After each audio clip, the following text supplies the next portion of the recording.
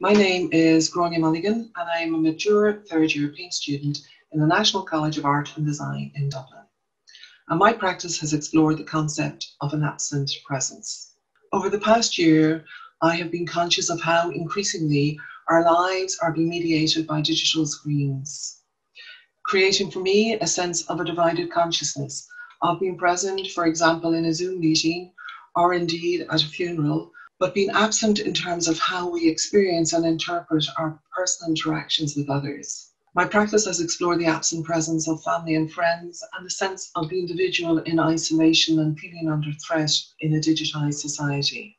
And my challenge has been how to materialize that concept. My research, which has involved a process of experimentation, has led me to a multidisciplinary approach, including using print, photography, video, paint, and the use of light boxes.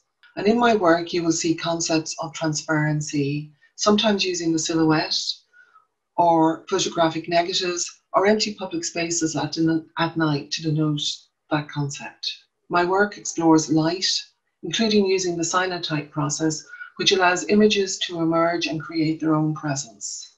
While in my video work, illuminated foil and light and movement creates a shadow presence.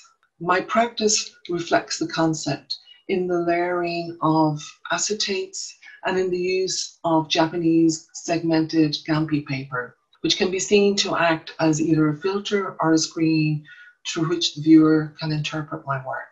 In my multidisciplinary approach, the choice of materials and processes were very significant to the materialization of that concept. Lux Blue Series 1 is a cyanotype print on Fabriano paper measuring 240 centimeters by 120 centimeters. The original image was a temporal oil image of my son, which I photographed, digitally inverted, printed onto acetate, and placed on paper which I had prepared with cyanotype chemicals, which was then activated by the UV rays of the sun.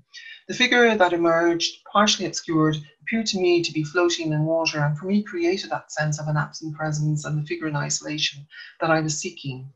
The cyanotype process is unpredictable and weather dependent and physically challenging when scaling up and washing and drying. I discovered that by applying polymer it acts as a base for applying acrylic and oil paint, which I've experimented with. The process of inverting images produced an abstensia lexicon measuring 100 centimeters by 70 centimeters.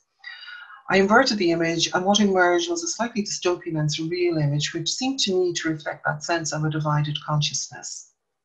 Lightscape 1 comprises layers of acetates on diffuse acrylic and measures 152 by 133 by 8 centimeters.